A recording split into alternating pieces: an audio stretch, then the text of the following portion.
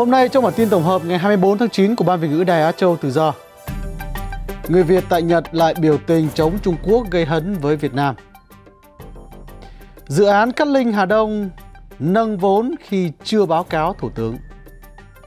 Hoa Kỳ giúp Việt Nam ứng phó với dịch tả lợn châu Phi. Trong phần lịch sử, thông tin viên chúng tôi từ Paris, Pháp có cuộc phỏng vấn với một số nhà đấu tranh liên quan đến giải thưởng tự do báo chí của nhà báo Phạm Đoan Trang. Và ngoài những mẫu tin đáng chú ý vừa nêu, chương trình chúng tôi còn có những thông tin và thời sự đáng chú ý khác. Mời quý vị cùng theo dõi.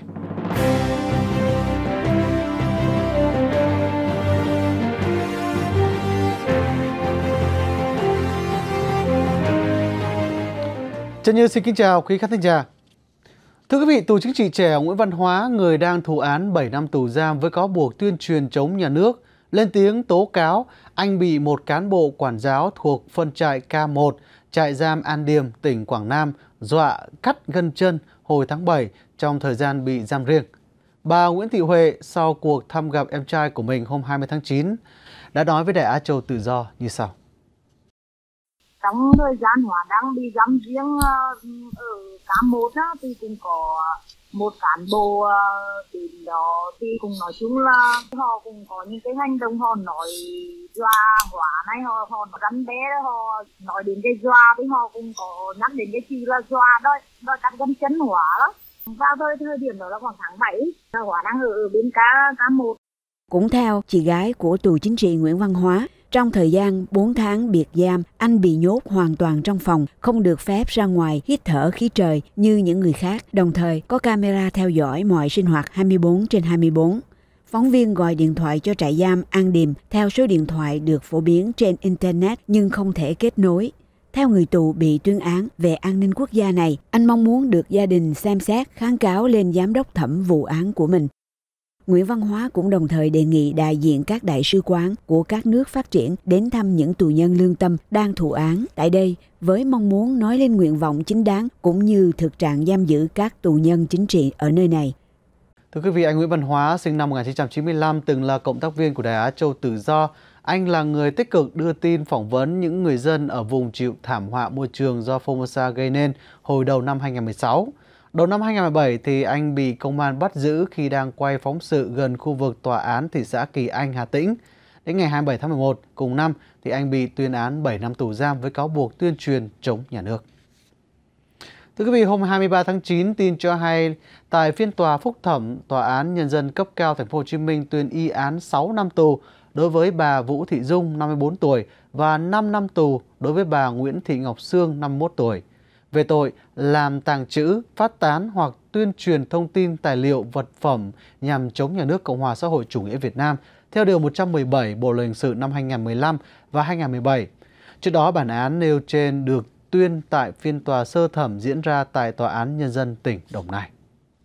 Cáo trạng của Viện Kiểm sát được truyền thông trong nước trích đăng cho biết từ tháng 8 năm 2018 đến ngày 10 tháng 10 năm 2018, hai bà Dung và Sương – đã sử dụng mạng xã hội Facebook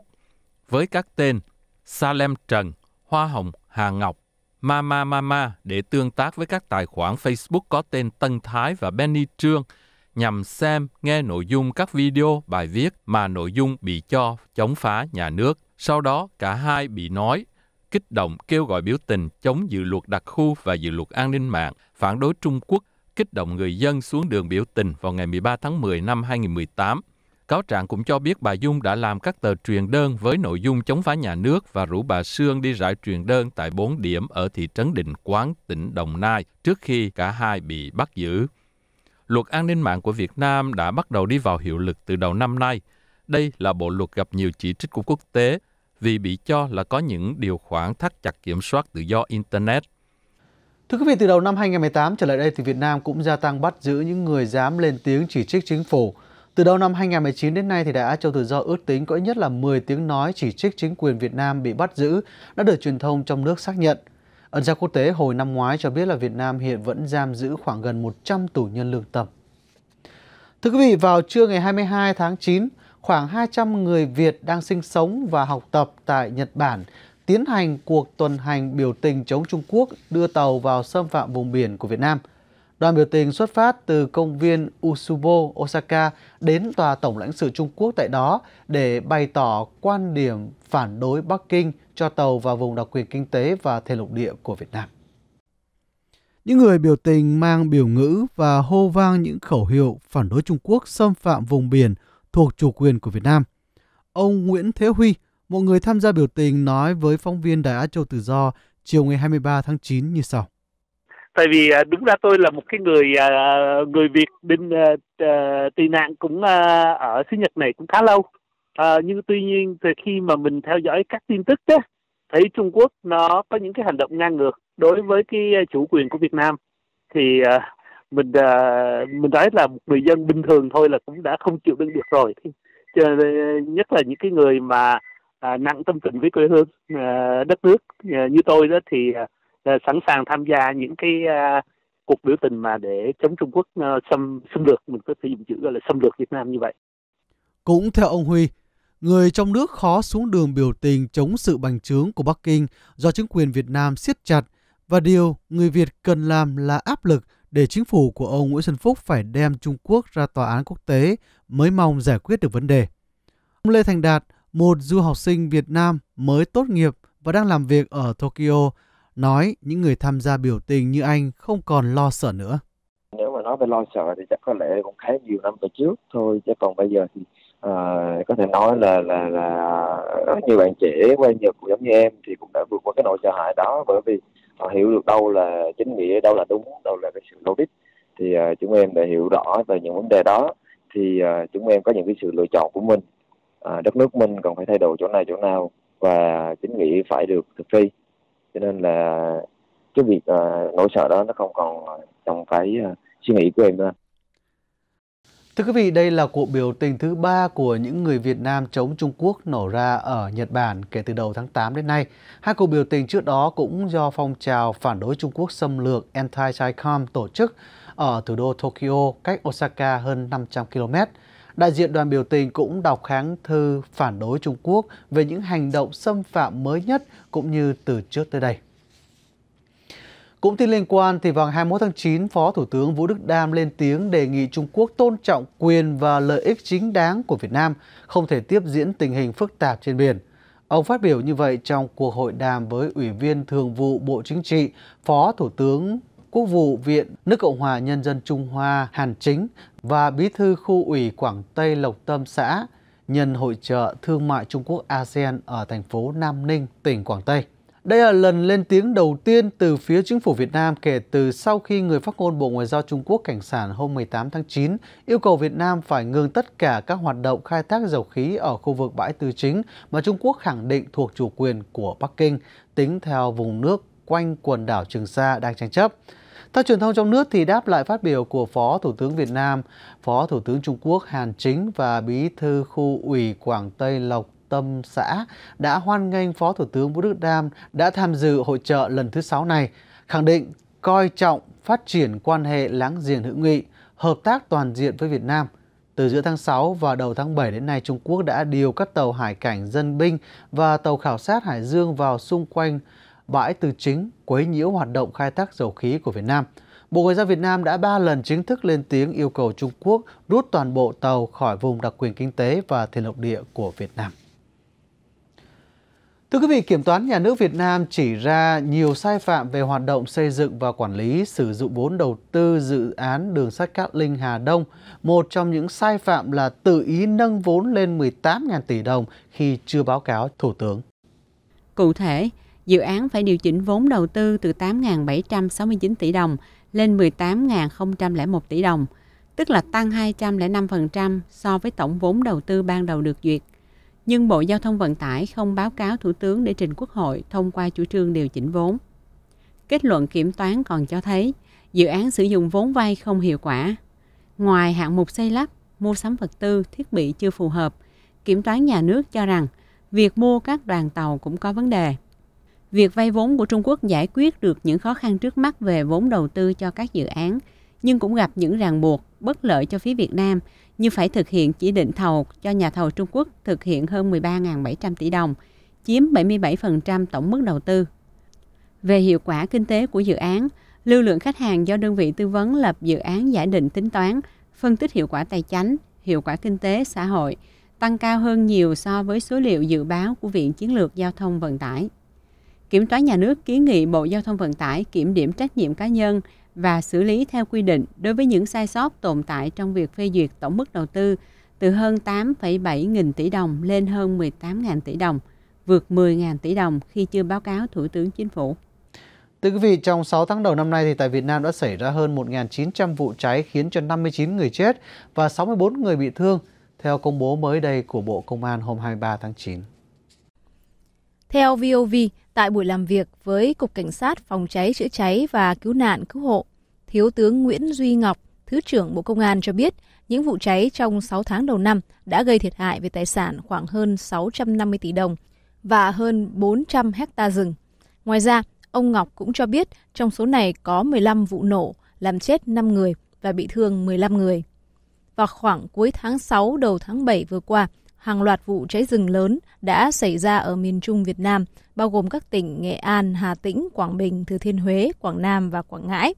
Nguyên nhân được cho là nắng nóng lịch sử kết hợp với gió Lào và sự bất cẩn của người dân.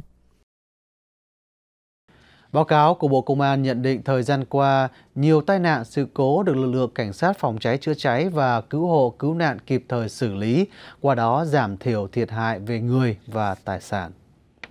Và thưa quý vị, Đại sứ Hoa Kỳ ở Việt Nam, ông Daniel Christenbrink, hôm 23 tháng 9 nói rằng dịch tả lợn châu Phi là một trong những điểm quan tâm trong mối quan hệ giữa hai quốc gia, bên cạnh những vấn đề về nông nghiệp, kinh tế, ngoại giao khác. Tính đến nay thì Việt Nam đã tiêu hủy hơn 500 triệu con lợn chiếm 7% tổng à, đàn lợn, theo thống kê của Bộ Nông nghiệp và Phát triển Nông thôn. Đại sứ Clinton Brink phát biểu như vậy tại hội thảo chia sẻ kinh nghiệm ứng phó với dịch tả lợn châu Phi hôm 23 tháng 9 do Đại sứ Hoa Kỳ phối hợp với Cục Thú y Bộ Nông nghiệp và Phát triển Nông thôn tổ chức. Dịch tả lợn châu Phi bắt đầu xuất hiện ở tỉnh Hưng Yên vào tháng 2 năm nay và đã lan nhanh chóng sang các tỉnh khác. Tính đến nay, dịch bệnh đã xảy ra ở tất cả 7.700 xã trên 63 tỉnh, thành phố, theo thống kê do Bộ Nông nghiệp và Phát triển Nông thôn công bố tại hội thảo.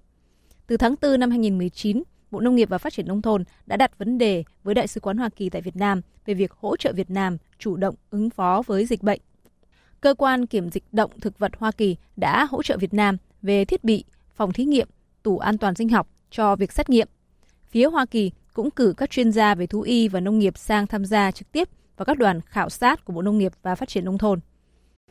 Quý khán thính giả vẫn đang theo dõi chương trình tin tức thời sự của Ban Việt ngữ Đại Á Châu Tự Do trên kênh YouTube AFP tiếng Việt. Mong quý vị chia sẻ và giới thiệu các chương trình của chúng tôi đến với nhiều người thân và bạn bè để cùng theo dõi. Trong phần thời sự, Thưa quý vị, ngày 12 tháng 9 vừa qua, thì Tổ chức Phóng viên Không Biên Giới đã trao giải thưởng hạng mục ảnh hưởng năm 2019 cho nhà báo Phạm Đoan Trang. Nhân dịp này, Viện Nghiên cứu Á Châu Đông Phương của trường đại học École Normale Supérieure tại Lyon đã tổ chức một bàn tròn hội thảo để nhìn lại tình trạng tự do phát biểu cũng như sự kiểm duyệt báo chí và xuất bản của nước Cộng hòa xã hội chủ nghĩa Việt Nam. Thông tin viên Tường An có bài tường trình sau đây. Mời quý vị cùng theo dõi và chia sẻ. Ngày 21 tháng 9 vừa qua, Viện Nghiên cứu Á Châu tại Lyon đã tổ chức một bàn tròn hội thảo về đề tài quyền tự do phát biểu tại nước Cộng hòa xã hội chủ nghĩa Việt Nam nhân dịp tổ chức phóng viên không biên giới trao giải thưởng năm 2019 với hạng mục ảnh hưởng cho nhà báo, nhà văn, blogger, đồng sáng lập viên và là biên tập viên của luật khoa tạp chí Phạm Đoan Trang. Bà Ngọc Anh thuộc Hội Người Việt vùng Rôn cho biết lý do tại sao bà tổ chức buổi hội thảo này. Tại vì là sống ở Pháp trên nơi mà uh, đất nước của quyền con người. Và một trong những cái quyền cơ bản đó đó là quyền tự do ngôn luận tự do tư tưởng. Đây là một những là một cái vấn đề một cái chủ đề rất là là là hay và rất là quan trọng. Cho nên là chúng tôi uh, quyết định là tổ chức cái cái cái buổi nói chuyện này nhân dịp là Phạm Đan Trang một nhà báo activist à, nhà hoạt động xã hội uh, đoạt giải tuần trước ở Berlin. Ông François Guillemot, một nhà nghiên cứu về lịch sử cận đại của Việt Nam, làm việc tại Viện Nghiên cứu Á Đông và cũng là người đồng tổ chức buổi hội thảo. Đối với ông, việc tổ chức buổi hội thảo này là cần thiết. chúng tôi tổ chức cái, cái bàn tròn này để bàn luận với các bạn ở, ở Lyon này trong cái trung tâm nghiên cứu của mình á vì uh, cô Phạm Đoạn Trang là một cái trường hợp rất là uh, thú vị uh, về nghiên cứu Việt Nam nói chung và về về cái tình trạng tự do ngôn luận hiện tại tại tại Việt Nam thì cái thứ nhất là là ờ, Phạm Đoạn Trang là là một phụ nữ tranh đấu thì cô nói là về sự tranh đấu của phụ nữ tại Việt Nam hiện nay là phải làm thế nào và phụ nữ Việt Nam là có thể là gọi là tiến lên phản kháng một cách mạnh mẽ. Ờ, cái thứ hai là cái vấn đề chính của hội thảo là về cái tự do ngôn luận tôi do ngôn nguồn là một cái vấn đề chính ở Việt Nam tại vì là một cái mâu thuẫn lớn của chế độ này đó là nó phát triển rất nhiều mạng lưới về về thông tin về về về tờ báo các tờ báo online các uh, các phương tiện đại chúng ha là làm tờ báo độc lập là khó đó khó sống và khó khó phát biểu ý kiến riêng của mình đó. thì nếu mình đề cập đến vấn đề chính trị là là không thể làm được tại vì là một cái một cái lĩnh vực mà riêng biệt ờ, đặc biệt cho đảng cộng sản Việt Nam. Thì mình thấy là nêu lên cái trường hợp của phạm đoạn trang là là là là hai cái đề tài này là rất là quan trọng. Một một vấn đề giới, vấn đề phụ nữ và vấn đề là tự do ngôn luận.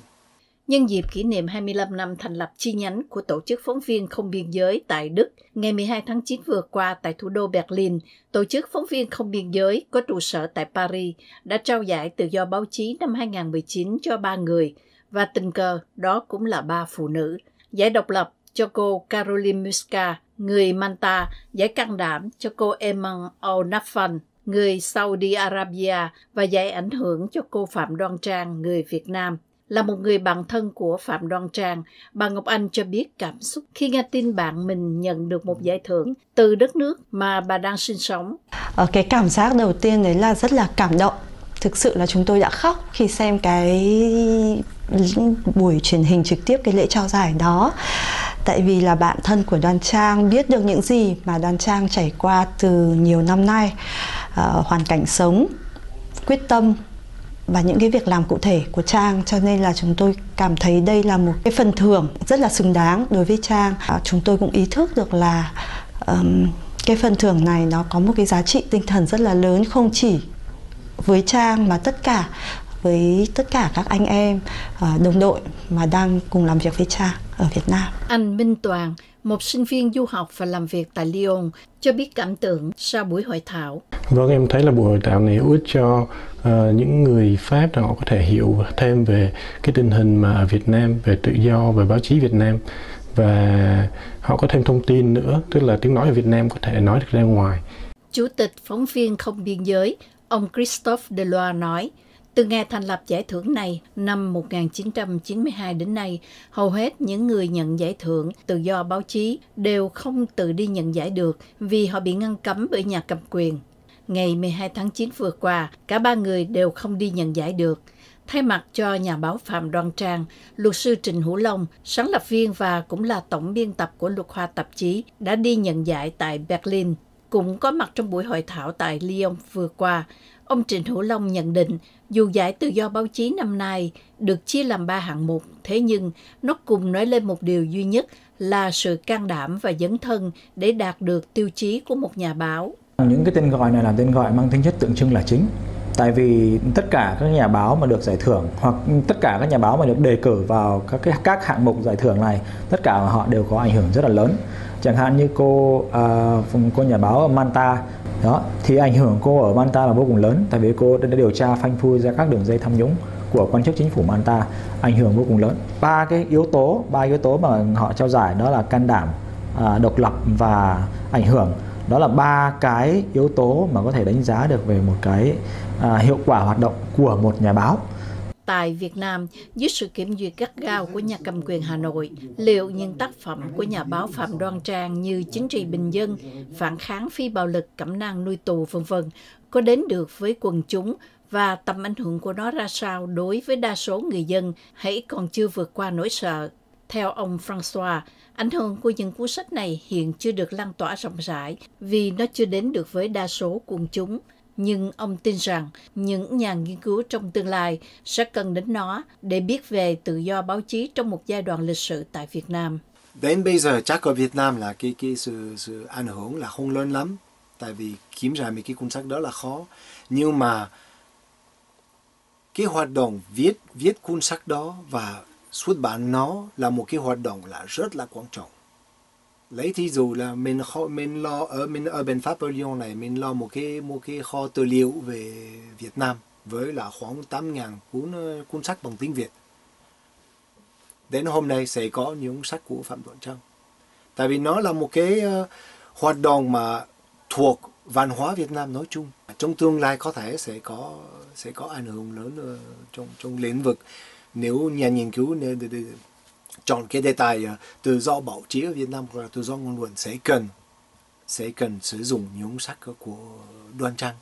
những tác phẩm của nhà báo Phạm Đoan Trang không được viết trong một bối cảnh bình thường. Bà thường xuyên phải sống trong cảnh trốn tránh, theo dõi của an ninh Cộng sản Việt Nam. Những nguyên sách được ra đời giữa những cuộc di chuyển liên tục từ nhà trọ này sang nhà trọ khác. Thế nhưng nó vẫn tiếp tục được xuất bản. Theo bà Ngọc Anh, bằng một cách nào đó, những quyển sách với những kiến thức cụ thể và gần gũi cho mọi giới cũng đã đến được tay người đọc, đặc biệt là giới lao động bình dân. Thực sự khi có về và tiếp xúc với uh, mọi người uh, người đọc ở Việt Nam, tôi mới thấy rằng là cuốn sách đến được tay của rất nhiều những người dân lao động những người mà không có thời gian buổi tối để có thể ngồi trước uh, màn hình uh, truy cập internet để đọc sách báo mạng. Uh, những người lao động rất bình thường đó họ mong muốn là có một cái quyển sách trong tay để khi rảnh rỗi trong những giờ nghỉ giải lao thì họ có thể dở ra và đọc uh, những người bán hàng rau thôi tôi đã nhìn thấy. Những bác chạy xe ôm, tôi đã nhìn thấy họ dắt cái quyển sách ở dưới yên xe.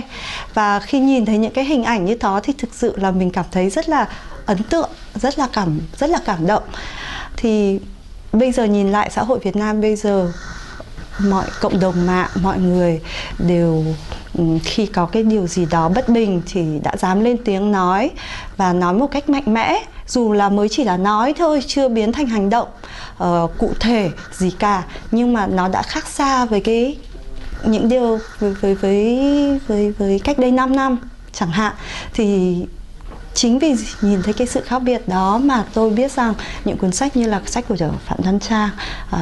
đã đem lại và sẽ còn tiếp tục đem lại những cái ảnh hưởng, những cái tác động rất là cụ thể, nhất là đối với tầng lớp lao động, người dân lao động. Trước đây vào năm 2013, blogger Huỳnh Ngọc Trinh cũng đã nhận được giải Netizen của Tổ chức Phóng viên Không Biên Giới. Ngoài giải thưởng của tổ chức này, nhà báo Phạm Đoan Trang cũng đã được vinh danh là một trong những nhân vật hàng đầu bất đồng chính kiến của Việt Nam đương đại qua giải thưởng của tổ chức People in It. Ông Trịnh Hữu Long cho biết ý nghĩa của các giải thưởng đối với những người còn do dự chưa giảm dấn thân tại Việt Nam. Những cái giải thưởng này là một cái ghi nhận cho những nỗ lực à, không biết mệt mỏi, vô cùng bền bỉ và rất nhiều nước mắt, thậm chí cả máu nữa của Phạm Đoan Trang. À, Thực, thực thực lòng mà nói thì là một người làm việc cực kỳ gần gũi với Đoan Trang và và theo dõi sát những cái uh, bước tiến của của uh, chị Trang. Thì uh, cá nhân tôi thấy rằng là rất khó có giải thưởng nào mà có thể uh, ghi nhận hết những cái hy sinh của người phụ nữ vô cùng can đảm này. Thì uh, tôi nghĩ rằng đó là một cái um, ghi nhận và cái ghi nhận này không những chỉ cho Đoan Trang mà cho tất cả những ai ở Việt Nam đang à, dấn thân mình vào trong các lĩnh vực à, hoạt động dân chủ, hoạt động nhân quyền, hoạt động báo chí độc lập, hoạt động xuất bản độc lập và cái phần thưởng này cũng làm hy vọng rằng là sẽ giúp à, à, khuyến khích động viên nhiều người khác dấn thân vào con đường này hơn. Những quyển sách của nhà báo Phạm Đoan Trang được xuất bản và phát hành bởi nhà xuất bản tự do. Những thành viên của nhà xuất bản này đã bị theo dõi, gây áp lực và thậm chí họ đã bị đóng rất nhiều tài khoản, khiến họ không còn tài chính để hoạt động. Để có thể phát sách miễn phí cho người dân trong nước, nhà xuất bản chủ trương mỗi quyển sách được mua ở nước ngoài là một quyển sách được tặng cho người dân trong nước. Bà Ngọc Anh, một ủng hộ viên, kêu gọi. Thì để ủng hộ cho nhà xuất bản tự do, thứ nhất các anh chị có thể uh, ghi tên mua sách. Khi một cuốn sách được mua sẽ là một cuốn sách được tặng cho độc giả Việt Nam. Chương trình thứ hai là nhà xuất bản cũng đang có lời kêu gọi vào trang gofundme.com và gõ hãy giúp độc giả Việt Nam có sách. Mặc dù việc nhà xuất bản tự do hiện nay đang gặp nhiều khó khăn, trở ngại, thậm chí nguy hiểm, luật sư Trịnh Hữu Long vẫn tin tưởng vào một tương lai sáng lạng cho nền báo chí cũng như thị trường xuất bản tại Việt Nam bị đàn áp, bị bắt bớ, bị à, bị hạn chế hoạt động nó xảy ra từ từ nhiều nhiều tháng nay, nhiều năm nay rồi. Nhưng mà sách của nhà xuất bản vẫn tiếp tục được xuất bản. À, các đầu sách mới vẫn tiếp tục ra đời. Tôi đánh giá rất là cao à, những cái nỗ lực đó trong cái thời điểm vô cùng ngặt nghèo hiện nay. À, và tôi cho rằng ấy là hoạt động báo chí xuất bản là một hoạt động cực kỳ có tiềm năng tại Việt Nam tại vì là các nhà xuất bản chính thống hiện nay đang không được phép phát hành những đầu sách về chính trị cả một cái thị trường vô cùng lớn như vậy đang mở ra. Tất cả những chuyện đó khiến cho cái hoạt động báo chí xuất bản độc lập này trở thành một cái công việc à, không những có hiệu quả về mặt xã hội mà trong tương lai nó có thể giúp định hình một cái thị trường xuất bản tư nhân. À, và cái thị trường xuất bản tư nhân đó sẽ cung cấp cho chúng ta nhiều đầu sách theo nhiều à, các góc nhìn nhiều quan điểm hơn rất là nhiều so với các nhà xuất bản đang bị nhà nước kiểm soát hiện nay để xem trực tiếp hoặc xem lại chương trình truyền hình của Ban Việt ngữ Đài Á Châu Tự Do trên điện thoại di động, quý khách thính giả hãy vào địa chỉ vietnamese.rfa.org. Vào đây, quý vị sẽ thấy chương trình truyền hình nằm ở ngay trang chính phía trên phần thời sự. Bấm vào nút play màu đỏ để xem trực tiếp cũng như để xem lại chương trình đã phát trước đó. Lưu ý để thuận tiện, quý khách thính giả hãy chọn Add to Home Screen để lưu giữ địa chỉ này trên màn hình điện thoại di động, giúp dễ dàng truy cập cho những lần sau.